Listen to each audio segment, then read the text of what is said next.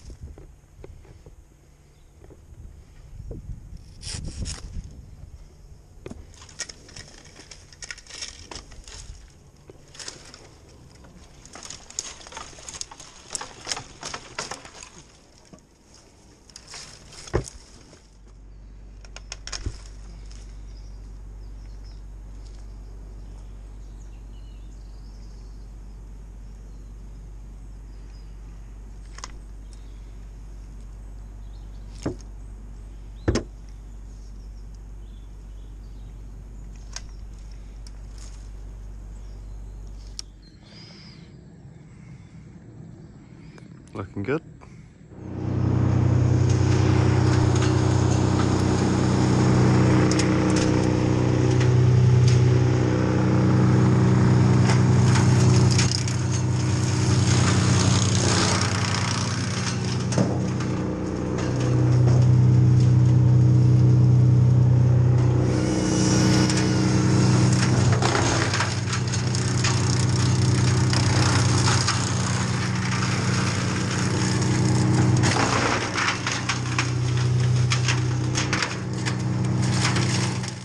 And we're done.